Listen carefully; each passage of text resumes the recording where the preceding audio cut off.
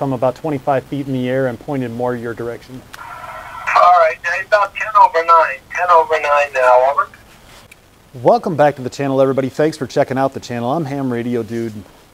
A few months ago, Don N5SKT, a good friend of mine, he sent me this Gigaparts carbon fiber mast. He said, dude, I think you're really going to like this mast.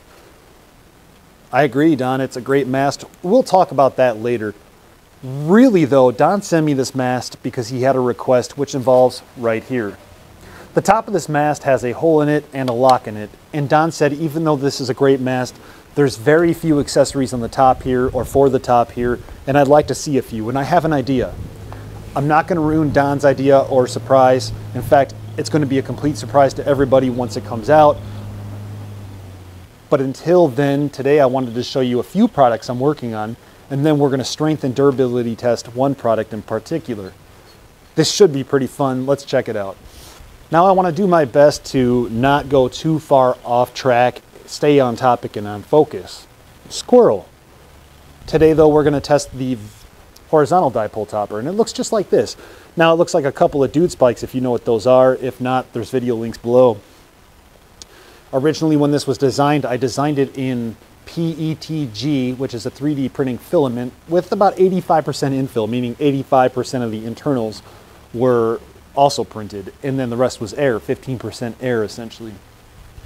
Now, with PETG, it felt durable, but I know there's a breaking point, and I could actually see the PETG bending at a certain point. It's not necessarily something you'd want to hoist in the air with a dipole. And the, the goal of this dipole right here was really hamsticks, but also telescoping poles.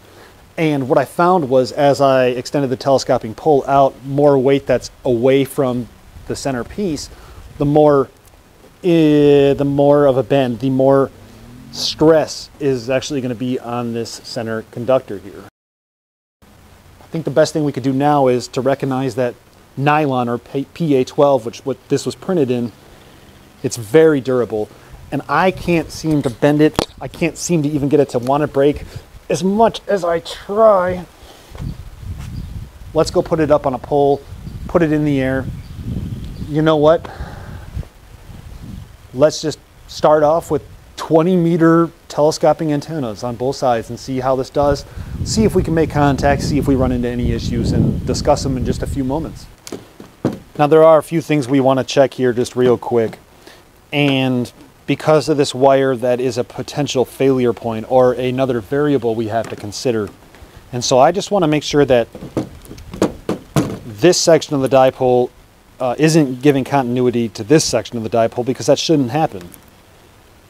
And it's not. But we also want to make sure that this section of the dipole has continuity to the shield of the actual connector. And if that's not happening, always check to make sure that these little prongs are actually in your multimeter and try again. Very good. So we have continuity from one side of the dipole to the shield and then the other side should not go to the other side. We're good.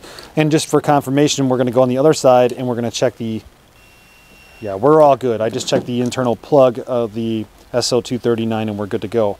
So we're going to go put this on the mast right now and talk a little bit about that real quick. Now that carbon fiber mast is great, but there's uh, nothing on the bottom for it to go in the ground. I suppose you could use a stake or something like that. But at 25 feet, I wanted something a little bit more durable. I found this speaker stand from Goodwill and it works okay. But if I really needed to, I think I can make a guy rod right here and just guy the pole or the mast off so that it stays in the air. Because I think after about 25 feet, even after about 20 feet, it might get a little squirrely. So as we already have everything on our dipole or our little base piece that I made, uh, we're just going to place this uh, circular piece inside the carbon fiber pole and lock it into place. One thing I'm going to make a note of here is if this goes all the way down, the carbon fiber pole can't lock because they kind of hit each other. Maybe that's a design flaw that I need to fix, but really, if I just brought this up a little bit and locked it into place, it would be okay. Furthermore, I think in the future what I'll do is I'm going to have two angled pieces or curved pieces that come off of here and go up to the horizontal portion of this design. Why would I do that? Because anytime you have a 90 degree angle or a break, that's going to be a weak point of the design. Okay, and so to alleviate that, we add curves. We could easily see right now this is completely fine at uh, six feet with these fully collapsed. But what happens if we extend them out all the way? What I'm doing here is I'm slowly bringing out both sides of the telescoping antenna and I'm watching this to see if there's any break points. I fully expect to break some of these PA12 uh, connectors that I made. That's kind of part of the testing process. Yes, it could get a little pricey. Uh, however, it is also very fun. When fully extended, these should be able to do 20 meters. So you have a full quarter wavelength. Actually, you have a half a wavelength dipole on 20 meters if this works. Now, surprising to me, that is a lot of pressure right here. I fully expect this to break and it's not. I now have this actually fully expanded on both sides and it's uh, almost like rounded. You know, there's such a slope because of these antennas. Uh, the centerpiece actually still looks pretty good, to be honest. And I don't see any signs of it breaking. We're going to hoist this up in a second, but I think the problem is, is these telescoping poles were like an Ali Express special. They bend easy, they break easy. That could be it, but I don't have anything else at the moment to test. So we're going to work with what we got. Let's hoist it up, but first we got to put coax on here. I'm not even worried about the strength at this point. I don't, I mean, listen, if I do this right now and I'm shaking this thing as much as I can to simulate wind, it's really not even breaking. So I'm not too worried about it. Uh, I think that the antennas themselves are going to fail before the center piece actually does. So that's kind of nice. Yeah, no problems there. I'm going to check the standing wave ratio and uh, again, I'm going to simulate some wind real quick here. So if this was windy, I could expect this whole thing to be shaking like this and I'm trying to break this right now, right? So I'm giving it kind of shaking that you might not even see with traditional wind. And really the fail point is on the antennas and not the center base piece itself. I feel pretty good about this. Now, most people aren't going to use telescoping antennas. Why would I test it with that? Well, that weight capacity, that weight load really is testing my product to the extreme and it's holding up now. So, you know, 20 meter half wavelength dipole, no problem. I wouldn't want to go too much further, to be honest with you. Realistically, people are going to use hamstick dipoles while portable, and if they're setting this up as a permanent solution with the carbon fiber mast, they might even be using a very lightweight aluminum or a wire dipole from tree to tree with the center conductor being a, a carbon fiber mast, something along those lines. Or maybe they have multiple carbon fiber masts. I don't know exactly, but this works, and we're going to test some contacts now. So let's go to 20 meter. Charlie, parks on the air, A Whiskey 9 Foxtrot, Foxtrot, Foxtrot.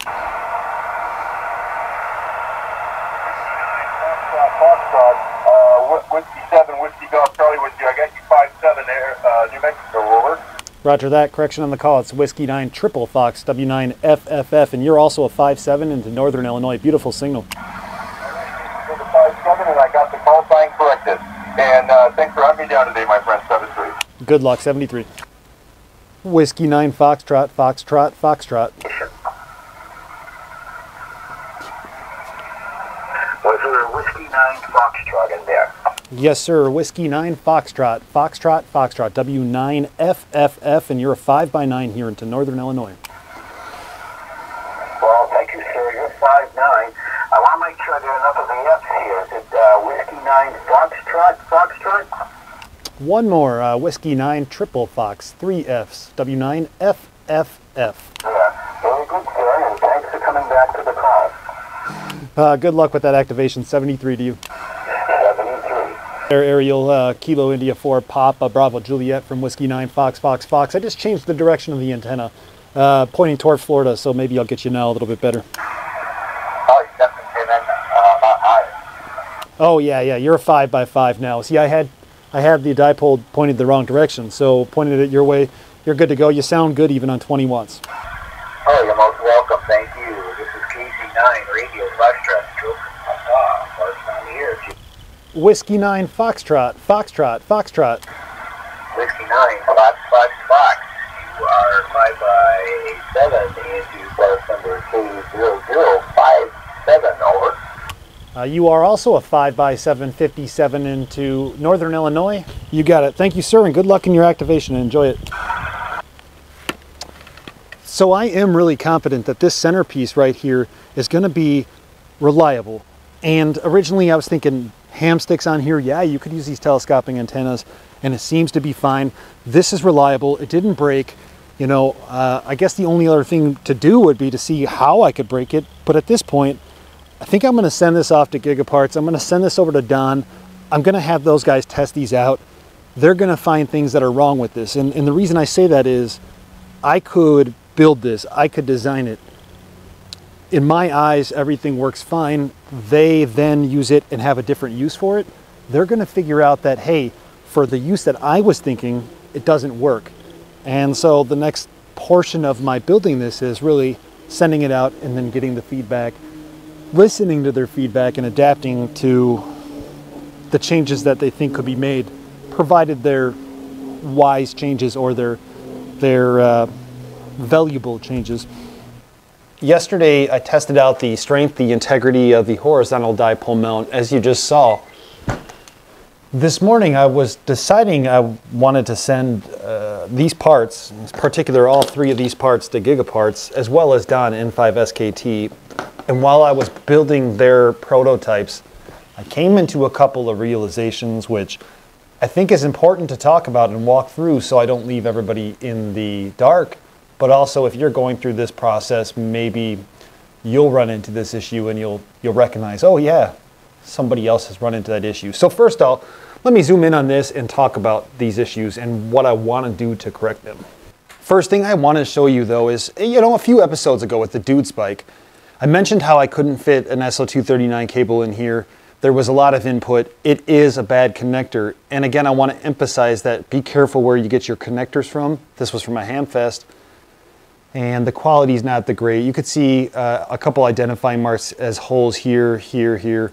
And then you look at this one right here. And maybe upon first glance, they're the same kind of style, but they're really not. There's a lot more quality in this one.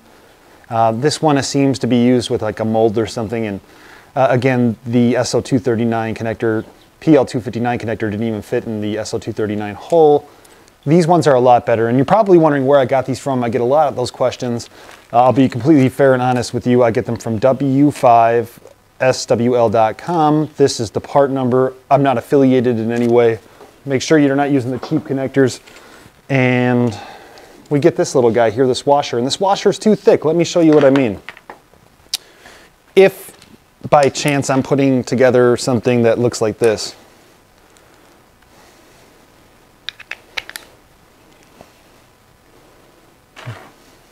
On this side, it seems completely fine. And that's because this is going to be the second portion of the, and yeah, I know there'll be a lock washer in there, a second portion of the antenna, right? But where we actually have the antenna, the SO239 connector or adapter, you have a lot more that you're working with. And let me show you. I didn't put the counterpoise wire in there, but still look at that right there. There's just not enough room because this wall is so thick that really that, that 3 8 post can't fit. So a couple of th things I have to do.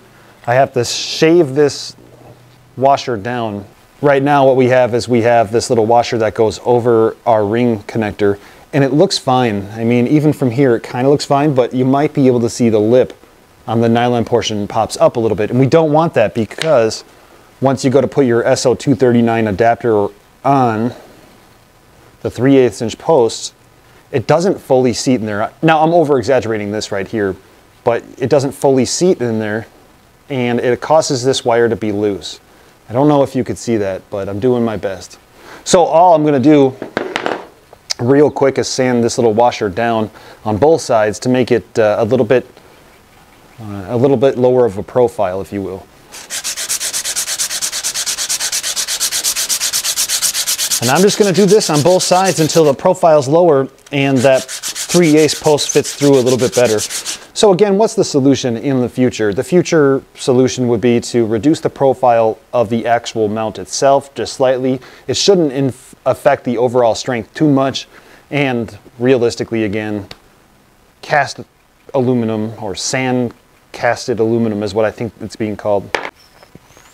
Okay, now that we got that washer sanded down, uh, we're just gonna take our 3 ace SO239 adapter. We're gonna put it through the ring terminal first and then the actual washer. The washer now locks into place and that is a nice low profile. It's not going anywhere. It's constantly making a contact with the shield, which then again goes to the other side with the 3 ace there. And now when I put this through, it's got a little bit more of that 3 eighths post that's sticking through, but it's still not too much. What I might do is I might sand some of this down. Uh, however, I think for the prototype in this case, I just know in the future to make this a lower profile. I lied. Um, I'm gonna sand this down a little bit. So now you might wonder why don't I just, you know, order some other ones that are thinner profile. Hey, great idea, and I totally agree with you, except A, they're a little pricey to be constantly making modifications every little thing. I'd rather write down all the issues, adjust them, and then have a big uh, update or modification to the actual base plate itself or the, the piece that I've designed itself. Uh, the, the other thing is, is I really want to get these to gigaparts and Don N5SKT with the understanding that these are still kind of under development and I want their feedback. It comes down to two things, time and money. For the purpose of these demonstrations and prototypes, I think this will be fine. Let's try to wrap it up here. It's starting to rain, thunder's coming, all that good stuff.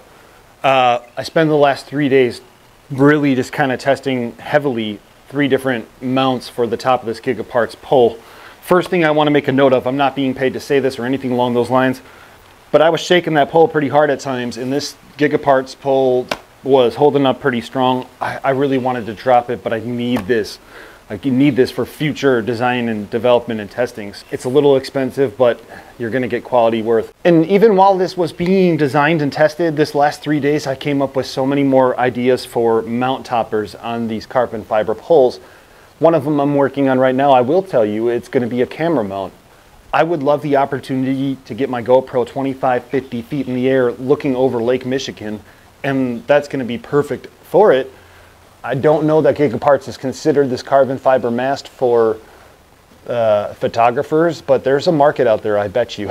Anyway, guys, I had fun testing, building, designing, trying to break, all this good stuff. There'll be more videos in the future where we go into maybe more detail on these things, uh, but I'm just having a good time. Let me know what you think about these things. Is there a use for anything like this, or is it silly? Again, I know you could definitely just throw together some pieces of metal, you know, from the store, but it's kind of fun, again, to design and test things in the spirit of amateur radio. I'm Ham Radio Dude 73.